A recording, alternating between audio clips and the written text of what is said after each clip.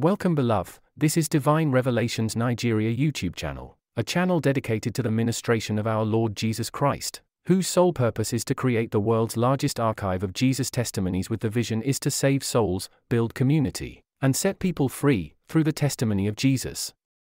But before we begin today's testimonies, I want to ask you to subscribe to this channel, like and activate the notification bell to receive updates on new videos. By doing so, you will help our ministry reach more people. It is also important to share this video on WhatsApp and Facebook, as it can save lives, as many people may need help, and you will be used tremendously by God in their lives. Amen. So let's get started. A Visit to Hell by Aaron Purser. Preface In the early morning hours of Wednesday, June 26, 2013, I was given a vision I believe was from God. The following is the exact transcript of the vision, and I have done all I can to write down every detail exactly as I saw it. Thus begins my journey. I found myself in a green field with four others around me. There was a clearing in the field, and the trees were all around off in the distance. As we circled around, the ground opened up in front of us in a black circle. I could not see the bottom of the hole and was frightened by this. I recognized one of the four people as Jesus, but I could not make out any of the other faces. Jesus said, I am going to send you into the hole, and I pleaded, Oh, no, Lord, I don't want to go down there. Before I could say anything more, I was descending into the hole and was moving very quickly. When I landed, I was shocked that my legs had held up to the fall, and by all accounts, I was fine with no broken bones. I quickly realized I had fallen into hell. I landed in a pit that was about 30 feet down. The walls were black and there was a fiery liquid pool about the size of a backyard swimming pool. Around the pool was about five feet or so of more black ground. I call it ground as it was not dirt but was squishy and seemed to be filled with bugs, beetles, and such. There is no light in hell. There was only the light from the fire and the reflections of the fire in the smoke. I looked around and saw the bodies of humans lying on the ground. All of them were at various states of decomposition, none were moving, none were speaking, and none appeared to be breathing. As I looked around at these bodies, a creature from the other side of the pool saw me up and moving around and very quickly ran towards me around the pool. I could at first only see the outline in the darkness, but when he got to me, I could clearly see his skin was red and he had enormous muscles. His jaw was large and full of sharp teeth. He carried a glowing red pitchfork which was about 9 feet tall, and he himself was about 10 to 12 feet tall. As he approached, I froze. I could not run or move in time, and he speared me right in the chest below my ribs with the pitchfork. The pitchfork was still hot from the last soul he drowned. I felt the intense heat from the middle spike of the fork pierce my heart, and the outer two spikes felt like they burst my lungs, and I could not breathe. I must not have weighed a thing to him as he lifted me high into the air easily and slammed me face up into the fire pool so my back hit first. He pushed me all the way under and I was submerged about five feet or more down under the liquid and he held me there, and he held me there. I was very surprised that the liquid was so viscous. The consistency was like that of water but had the appearance of thick lava. It was extremely hot and I knew I was in big trouble now. Horrified, I watched as my arms flailed in front of me catching fire and there were reds, oranges, and blues coming off my burning flesh. I saw my feet burn off and the muscles and tendons in my arms and legs were strung out and burning like spaghetti. I saw my lips float off in front of me and my ears and nose did the same. I was at a point where my eyes were going into blackness too when I was flung out of the pool by the creature, and tossed to the side where the other bodies were. As I lay on the bank of the fire pool, I could hear the roaring laughter of the beasts, and then I knew there were many of them, perhaps legions of them. There were no human voices at all, no one there speaks, ever. Even a grunt or groan is seen as a human comfort to the dark side in this putrid place. If such is heard, the creatures either pierce the lungs again with the pitchfork and move on, or go ahead and dunk you again.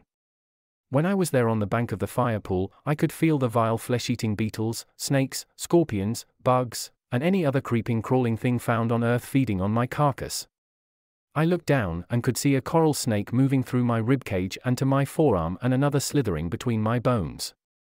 I looked at the persons next to me and their faces had been burned unrecognizable.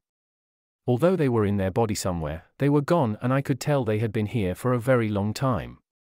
I looked deep into their souls' eyes and was terrified at the look in them as it was hollow and expressed utter hopelessness, desolation, an abysmal abandonment from God.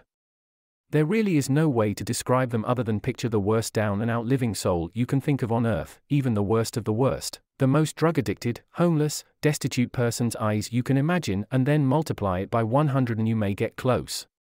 There is no hope left once you are in hell, ever. I also noticed that we were all not laying there decomposing, but rather we were regenerating as our bodies needed a little time to regenerate, so the next time, we would feel the same amount of pain or more. As I regenerated, I watched as the other humans who regenerated before me were picked up one by one by the creature with the pitchfork and were slammed into the pool. Each time someone is slammed into the pool, the creatures laugh. They laugh harder every time someone is thrown in and they experience more pain. The better the job they do, the louder they laugh. The creatures never get tired, they never take a break, they never sleep, they never eat. They just continue this routine forever to please their master Satan and hope their laughter will be heard by Satan and that it will please him. When they are finished with pushing the souls under, they pull them back out and lay them down on the ground. Then the limbs and heads fall off the soul's body, and the fire water pours out of their throats and chest cavities where their hearts had been. The fire water spills out of the bodies all over the banks and sometimes pours down onto the other souls laying there regenerating. Now it had come to be my turn again, and instead of standing up like when I arrived, I was laying down on the side where I had been tossed. No one gets back up after this they all lay there in pain and being eaten until they regenerate. Then the creature came back to me. He didn't say a word and just thrust the pitchfork into my chest again and lifted me up. I could hear my lungs sizzle and could not take a breath. This time he spun me over so I would enter head first. He slammed me into the pool, and the same occurred as I saw the burning of my arms, hands, legs, and feet in reds, oranges, and blues. I flailed around trying to get the fire to stop or to somehow save myself to no avail. No matter how hard I tried, I just kept burning. There was no escape and no way back up to the surface until the creature pulls you out of the fiery water. I eventually stopped flailing.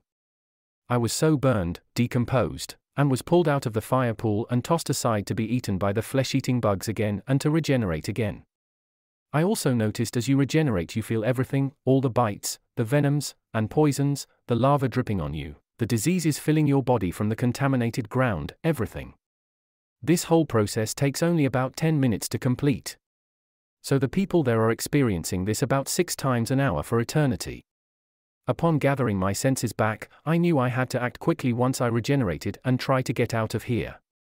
Somehow God allowed me to regenerate fast and I snuck over to the wall and began to climb the wall. The wall was squishy and filled with flesh eating bugs, spiders, disease, detritus, and every other such vile thing. It was not like dirt at all, but more like a wall of living insects all tied together. There was no slime or guts of the bugs, they were like living hollow shells. As I grabbed handfuls to climb, there was nothing cool to the touch here, anywhere.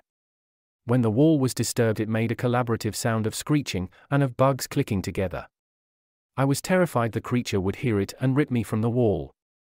My hands went into the wall about to my elbow and the same with my feet to my knees. I just frantically grabbed and pulled each handful and stepped up until I reached the top. At the top, I looked around and saw the pit where I had been was next to another one just like it, and another, and on and on it went like this as far as I could see in every direction. Each pit was separated by about three feet of the same type of living ground, which was now pulling me back down. I saw there were thousands of pits just like this, perhaps hundreds of thousands. There could have been millions of people in these pits in every direction I turned. There were no screams of humans like I had expected, just the roaring laughter of the creatures. When one would laugh, others would join in as a congratulatory laugh. It was horribly unnerving to hear these blasphemous sounds. The pits were laid out as a grid, only connected by the three feet ground substance on all four sides. There were multiple volcanoes, all with massive rivers of lava coming down them. One was very close to me, so I began to run towards it as if I could somehow get out if I just got to the top of the volcano. There is no way out though, and the roof is thick and black from the smoke, and the only light is that of the fires, the pits, the rivers, and the tops of the volcanoes. It appeared the rivers flowed off into larger pools of fire, but it was so far and so dark it appeared as red lines out on the horizon. As I ran, I noticed a different style of creature was flying around and dropping new arrivals into their assigned pits. These creatures were wire-like and thin, their wings were pointy like a bat's wings. These creatures' wingspans were between 10 to 20 feet and their bodies were about the size of a human. I could not see their faces, but like all the other things I saw, I know they are just as hideous. They flew around in circles and around in packs at times. They seemed to go up into the smoke to gather new souls and would come back and drop them in the pits. It was as if they were catching the souls as they were being dropped down. These two made hideous sounds as they dropped their souls into the pits. I paid them no mind and focused intensely on reaching the volcano. I ran as fast and hard as I could. When I reached the base of the volcano, I was surprised at the density of the volcano as it was hard, unlike the grounds leading up to it. It was made of rock or likely basalt. The walls of the volcano were jagged, sharp, and hot. I quickly began to ascend the wall. As I got higher up, I could see the fire pool pits numbered far greater than I could originally see. I ascended higher towards the top, and I looked around again. Now I could see into the rivers of fire and could see there were many people in the rivers too. Scared, I began to ascend more quickly. Somehow I was detected, and from the corner of my left eye, I could see a large fireball and plume of smoke coming up from below me circling the volcano counterclockwise. When it came around the last corner, it was directly in front of me and there was a large angry face in the plume. The face could have been the size of half a football field. Through the fire and the smoke, I could clearly see it was a large flying creature, and it yelled at me, Don't you know who I am? I did not speak back, not out of fear, but rather out of disdain. Although the voice was loud, it did not scare me or alarm me. I did not know who the creature was, though. I looked away and tried to climb up some more, and was instantly knocked with great force off the wall. I fell backward and down and down until I hit the river of fire and was instantly burning alive. The river was of thicker viscosity than the pits from before, and I was flailing to get out, but the river pulls you in and again it is much thicker, so it is much harder to move. I was burning up and went under the river, my skin, eyes, guts, and every other part were burning and flowing around in front of me. I surfaced and instantly regenerated, and then the pain started over again. In the river, you regenerate much quicker as once you surface you are still in the river so you are kept in as much pain as possible. The river holds many souls far more than in the pits where I had been. As I looked around, I could see other souls trying to do the breaststroke. When they would do one stroke, they would then flail around and die. Then, when they came up for air, they would be a skull and some face and throat. The lava would pour out of their eyes, throat, and chest like a pitcher being poured out. By the time they hit the river again, they would be whole, only to repeat this process every 30 seconds or so. This part of hell is far worse, though it is all bad, in part because it is so painful and also because it happens so often there is just no way out of the river once you're there. There are thousands upon hundreds of thousands of people in each river, possibly more, but it is very crowded. As we neared the bottom of the volcano, the river begins to level out and the flow becomes slower. At the base of the volcano, there are more of the pit type creatures with their pitchforks. They were pushing people under who had come up for air. I watched them as they would push people under and their pitchforks would shake violently for a few seconds and then stop. When they stopped, the creature would belt out the hideous low growling laughter to his master and then fork another one under. Over and over this went all down the river. I was pushed under a few times and saw below the surface. The legs and bodies of the other souls in the river were thin, deteriorated, and burning with the oranges, reds, and blues of the flesh and muscles burning, their guts were just trails of burning strings and were all around them. The people were not swimming through the river as much as they were just floating and trying to avoid being pushed under. Everyone in the river is weak, and again the pain is so much or they've been there so long that most can't or won't even flail around anymore. No one speaks, grunts, screams, or makes any sound, the only sounds in the river are bubbling, boiling, splashing, and the sounds of the creatures bellowing laughter. After some time, the river became narrower, perhaps even deeper, and began to meander back and forth to the left and right. At this point, the river was faster and the pit style creatures were gone, but I could see another type of creature ahead on the river banks. These creatures were very tall in comparison to the others and were very thin. They were about twice the size of the others at about 20 feet tall. They were raspy and cackled when they laughed, they had grey skin and blue fire surrounded them as if they glowed. They had what appeared to be baseball bats or clubs with one spiked side, the bats were about 10 to 12 feet long. The people in front of me I could see were being hit each in the head by the creatures, then they would sink under the river only to surface again, and quickly regenerate. This was the only time I heard any advisory voice, and it told me twice to stay in the middle.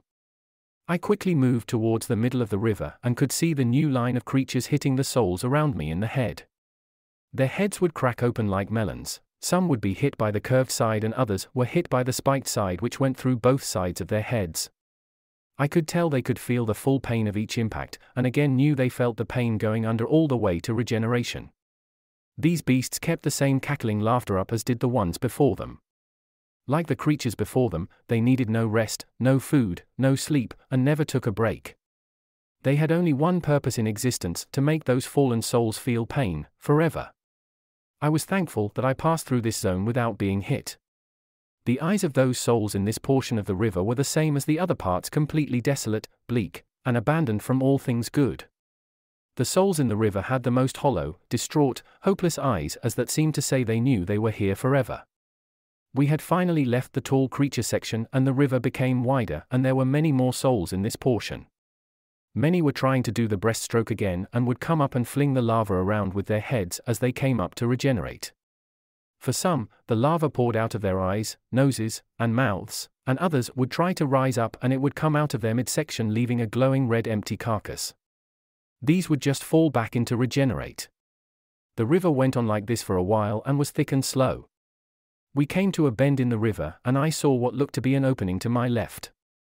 I made my way to the opening which was a collection of rocks in a circle formed like a window. Outside the window, I could see we were high up in a cave on a mountain looking out, and I saw blue skies and green trees below. I reached out to touch the window, and when I did, the window disappeared. It was back to the blackened wall, only illuminated by the river's glow. I was then pulled from the river and found myself back at the start of the river at the base of the volcano.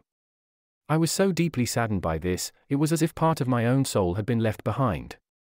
I was scared now that I may not be able to get out.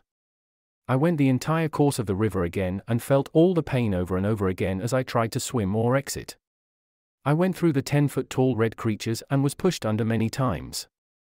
I went through the 20 foot tall burning blue type creatures and stayed in the middle and was not hit. We got to the point in the river where it slowed way down, and I believe we were getting close to the large pool, which now seemed more like a blackened fire ocean than a pool. At this point, I could not take any more as I had been burned up and drowned in rivers of fire for too long. I had been yelled at by a demon and watched people falling from the sky into fire pits while flying creatures snatched them up in midair. I had seen the creature torturing souls in the river and others cracking heads open. I pleaded to God, God, please get me out of here, I don't want to be here anymore, and please God get me out of here. In an instant, I was out of the darkness and out of the fire river, and there was dimmed sunlight. My eyes needed to adjust, but I was on solid ground and I tried to look around and saw Jesus was with me. Jesus was holding my right elbow and was helping to hold me up. With my left hand, I covered my eyes to shield them from the wind and light. I could feel hot wind all around me and there was black smoke all around.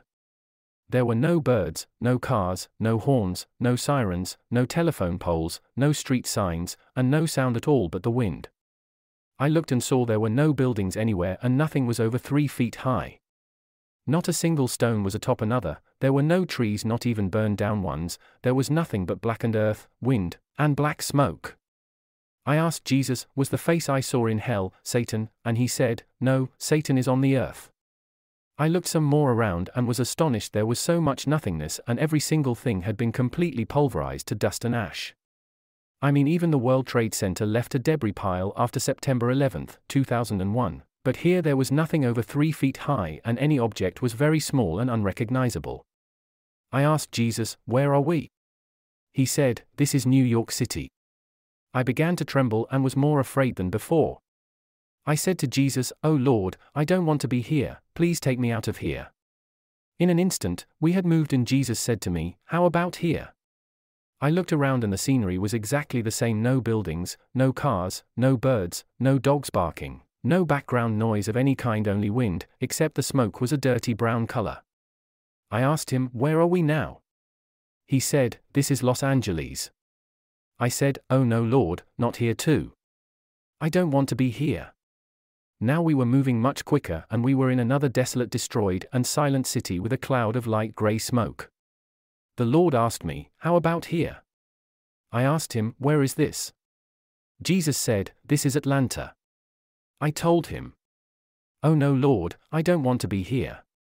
We had moved again in an instant, the same thing destroyed everything, not a sound, nothing over three feet tall, and the only things that were even three feet tall were because items had piled on top of one another. This place had a darker grey smoke everywhere in the wind. Jesus said to me again, How about here? I asked, Where are we? Jesus replied, This is Chicago. I told him, Oh no, Lord, I don't want to be here. We moved a final time, and again everything was gone and the quiet was overpowering the wind, only this time the smoke and wind were a dark bluish grey and it was wet. Jesus said, How about here? I asked him, Where are we? Jesus said, This is Florida. I then asked him, Why is all of the smoke different? He said, It is like the sand you bring back from the beach. I then asked him, Why are you showing this to me? He replied, It is because you have been chosen to tell the world, the end is nigh. I did not understand this and asked him, You mean you're coming back at night? He said, No, that the end is nigh. I asked one final question Why is all of this happening? This time a voice of a thousand thunders came from the sky and all around me into my ears, spine, and soul and said, We have decided it so, and I was scared.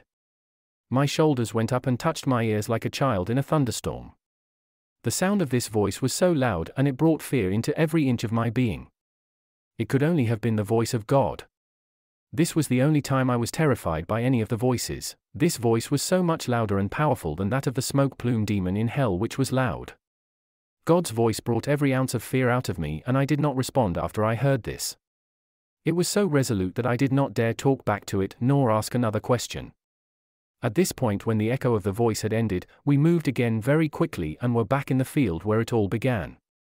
Again, I was with the four, and the hole to hell had closed. I looked up and the four turned and began to walk towards the tree line, and I was all alone again in the field. I then awoke from the vision and saw it was around 3:27 in the morning. Conclusion I was blown away by what I had just seen, and knew I had to follow the instructions given to me and write this all down. I know many who read this will not believe even a portion of it, but I also know God works through people far more than many realize, and though you may not believe, I hope God will open your eyes or someone you know through this. This is not so much for the saved, but more for those who do not know if God, Jesus, heaven, and hell are even real. I believe they are, and though many will be blind to the Lord, some will believe or pass it on. I know Christianity is split into so many groups that to a new believer or even potential believer it may seem overwhelming. My advice is to believe that Jesus Christ is the Son of God who came to earth, was crucified, and rose from the grave. Start here, with just a small amount of faith, and the other things will come. You won't change overnight and you will likely still sin, but your soul will be saved so when your time comes you won't be pulled down into hell. I didn't understand why God would choose to show me these things until I talked with my father. He said no one would think David could beat Goliath either. God knows what your heart's true intention is and He wants to be a part of every person's life. Please also understand He does not want anyone to go to hell but has given us the choice to decide on our own. After being down there, I could see how awful and separated from God it is. The pain and grief are far too great for one to write down, and I too don't want anyone to go there. If anyone truly knew how bad hell really is, they wouldn't want anything to do with the place. To me, it's an easy reminder that no matter how bad it gets here on earth, it could be much worse. I further believe God withheld much of the pain and the smells of this rancid place from me, and if I had experienced it all, I would have died right there where I laid. Many of you will only ask about the second part of the vision showing future events. I cannot really say much more than what I saw. I don't know what happened to the four cities and the one entire state. I can only speculate it was something with a lot of power and heat. I wasn't given any time frame for the events to occur. I would like to think they won't happen in my lifetime or my kid's lifetime, but it seemed very close in the vision. It seemed so close that I immediately went online to see if bad news had broken overnight. As far as the smoke portion goes, and the reference to the beach by Jesus goes, I have visited various beaches of the Atlantic coast many times to this point in my life. I always take a small sand sample with me to bring home and compare it to the other sand samples from other beaches I've collected over the years. I believe the differences in the smoke represented the differences in the ground below the cities. I don't know what happened to the cities other than they were gone, absolutely decimated beyond anything the world has ever seen to this point. In conclusion, I trust God and Jesus are real. When my time does come, I don't want anyone to be sad. I have seen hell, hell on earth, and I now lack only the sight of heaven and only wish to see it when my time here is done. I know many who read this will think it is not real, but some will and will take heed and will begin to prepare their soul. They may either dedicate or rededicate his, her life to the Lord because of it, and then it will all be worth it, as you can fear death no more. I know many, many people, whose bodies are in the cemetery, and I look forward to seeing them in heaven. I hope to see you all as well on the other side, in heaven, I know without a doubt I will be there. Good luck to you all in your walk through life, there are many snares set to trap you, so be vigilant and rest your hopes and fears on the Lord. Your burden will be so much lighter, and you will be more content with the decisions you have made up to this point. Thank you for taking the time to read my story. I welcome any and all feedback, as well as stories or testimonies of your own.